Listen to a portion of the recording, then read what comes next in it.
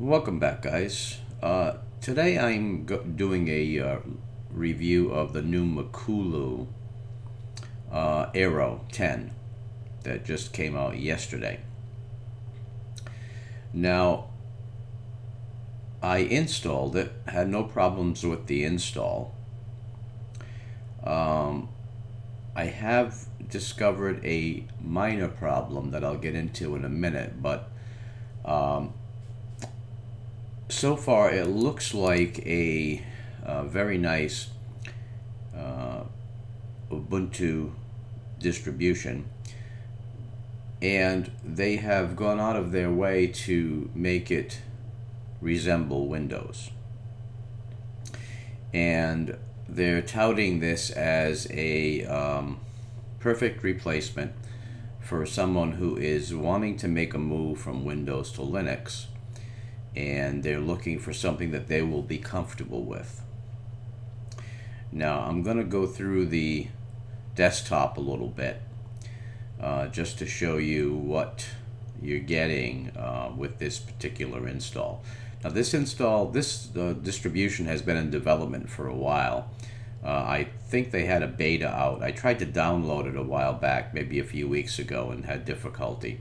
So I figured I'd wait until the uh, release came out, and evidently this is the initial release now. I'm assuming it's out of beta. Um, I have been playing with it, and it seems to be pretty uh, stable. Haven't had any issues at all. I like the look. I think anybody coming from Windows would be comfortable with it. Uh, in the bottom right in the system tray, you have your date and time. Uh, let's see, this is the, uh, if you click on it, it brings up all of your windows that are open. Volume and sound settings. Uh, it configured my Ethernet connection without a problem. I do not have Wi-Fi on this particular computer. Uh, Bluetooth is disabled right now, but it is available. English uh, keyboard and language configuration. This is the update manager. Now if you, I, I installed the updates and it, it looks like it's the Mint, uh, basically the Mint update. Um, if you open up a terminal, it tells you right at the top to use Update Manager to update the system. Do not use apt-get upgrade or dist upgrade. So they don't really want you updating the system from the command line. They want you to use the update, and that is fine. Um, I think it's because they have some proprietary repos and things like that, and they don't want you going through the uh, command line and possibly um, causing some problems with the system. Uh, and then you've got your wallpaper installer. Uh, they're using, I think it's Variety you can change them. Um, you can configure that to change it as often as you like. It comes with a preset um, list of images. And so uh, that wraps up the system tray. Now if we move over to the uh, applications, I'll, re I'll review those briefly with you. Now they've got all of the regular, all of the typical applications included. Uh, some that are not so typical, uh, for example, Nomacs is included, uh, WPS Office is included, um, and so I, I like that uh, the software configuration. All of the items that they've included are very nice. They've got firewall, they've got antivirus, uh, the, the background, the wallpaper changer. So everything is uh, very, very nice. There's not a whole lot you'd have to go and download. I downloaded Vokoscreen and SM Player just to uh, do this video, but other than that, everything is pretty much included.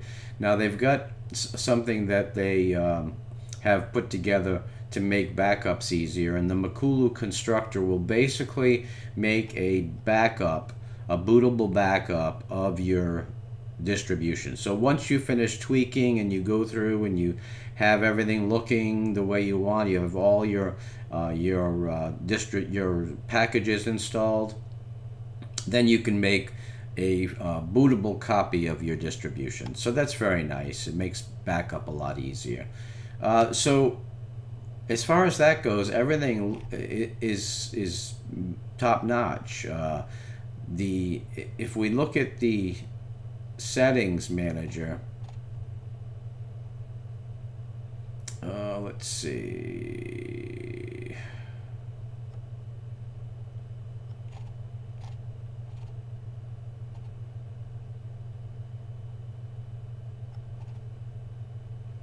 System settings.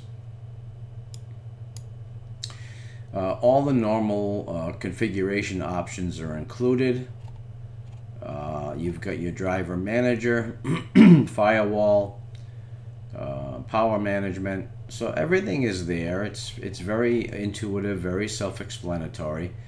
For themes, everything is Windows based. You've got all kinds of uh, window uh, options to, to ba basically replicate any version of Windows that you might be coming from. So if you're making the move from Windows to Linux, this might help you make the, the move, the transition a little bit easier.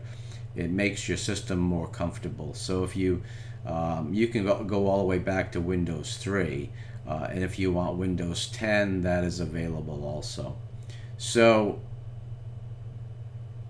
it's just a matter of selecting the, the look for your window borders. Then your icons, again, they're all Windows based. Uh, you can go ahead and add other icons that you might be uh, that you might prefer if you don't like this Windows theme. Um, there is an icons folder and a themes folder in the home folder so you can drop the uh, themes and icon packages in there and they'll come up on your menu.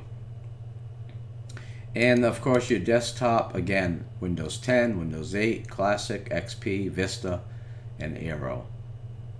So uh, everything is designed to make a transition from Windows a lot easier. Okay, so let's go over to the welcome screen.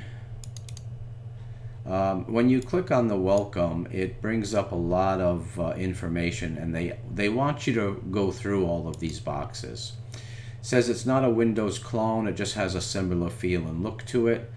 It's as powerful as any other Linux environment. Uh, this build exists because users requested it.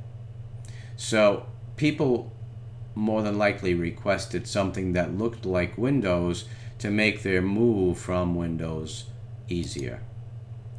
Uh, so they talk about their wallpaper changer. Uh, if for updates, they want you to use the update manager down, and it looks like it's the Mint manager. Um, my system is up to date. I put in all the updates, but that's that's how they want you to update. They do not want you to do it through the um, terminal. Matter of fact, when you open a terminal, it tells you please don't use this for apt-get upgrade or dist upgrade. Use the update manager instead. So evidently they have some proprietary repos that need to be accessed through the normal update manager. So language and themes they talk about and popcorn time. Basically they're letting you know that if popcorn time is not legal in your country, remove it. You are responsible to remove it. Uh, Google Cloud is accessible. Pipelight for uh, Windows-based plugins in your Linux browsers. Uh, so it's using Pipelight as a Silverlight alternative. Uh, for Office, as I mentioned, WPS Office, Claws Mail, Wine and Steam. Also Play on Linux is installed. And uh, multiple file formats, PDF, Office, document, music, movies, etc. Comes with Wi-Fi support. 50 gigabytes of storage is available uh, through Megasync. And then it has a built-in firewall and antivirus. It, it talks about donations. And I hope this edition brings you much joy. It uh, there is there are more hidden goodies in the build. For a full list, read the release notes at the Makulu website. So uh, again, go through those messages in more detail if you decide to uh, install it. Now, the one issue that I came across is with the NVIDIA driver. If I go to the driver manager, you can see that I, I have an NVIDIA graphics card and I installed it using the driver manager. As you can see, it says that I'm running the NVIDIA 352 driver, one proprietary driver in use. Of course, I rebooted after I did that. But what tipped me off to the fact that it's not really the case is when I went to the um, NVIDIA application, and those of you who have an NVIDIA cards, you know what I mean. Uh, when I bring it up, there is no NVIDIA card running. If there was, it would tell me what driver version I was running in the NVIDIA settings. So it's not running. If I run a um, command line program, Nouveau driver is in use. Intel onboard graphics. No matter what message I run, it recognizes the card, but the driver is Nouveau.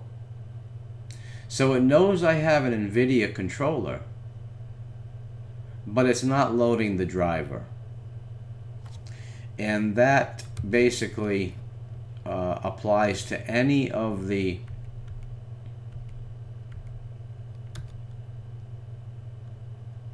no such file or directory for NVIDIA driver version. So it's basically telling me that they're again nouveau. So what it's saying is that even though driver manager tells me I've got an NVIDIA uh, driver or NVIDIA uh, driver 352 loaded, it's not the case. It has not gone through and done a proper install of the driver.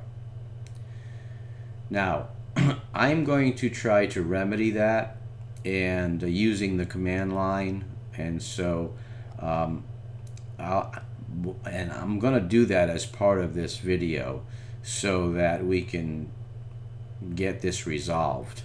Um, and as soon as I get that done, I will be right back. I'm going to pause the video while I get that done. So guys, I'll be right back with you. Welcome back, guys. uh, as you can see, the uh, problem is still not resolved. I used uh, every method that I know of in order to properly install the drivers and nothing has worked. Um, the driver manager still states that I have the NVIDIA 352 installed and yet when I uh, try to detect the driver uh, running it's Nouveau. So that's a a big problem. Um, they don't want you to apt-get upgrade or dist upgrade from the command line.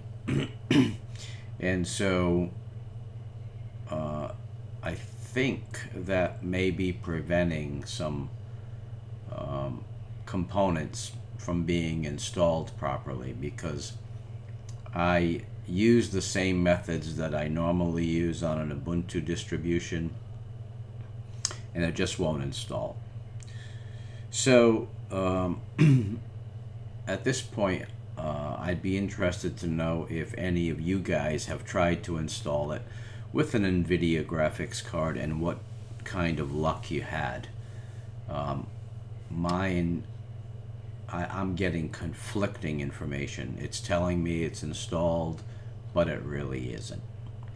So uh, I'm going to wrap it up. I'm going to uh, hold off final evaluation. The, the, the distribution itself is very nice, but uh, this is a uh, big problem. This is a bug of some type that should have been resolved prior to release. So guys, that's Makulu uh, Aero 10. Um, the distribution itself is fine. The software included is fine. But there is a problem with the installation of drivers that I can't seem to resolve. So I'll just leave it at that, guys. Um, you know, if you want to give it a try, if you have an NVIDIA card, um, please let me know how you made out uh, with the graphics driver. So guys, please rate, comment, and subscribe, and uh, I will see you soon. Take care.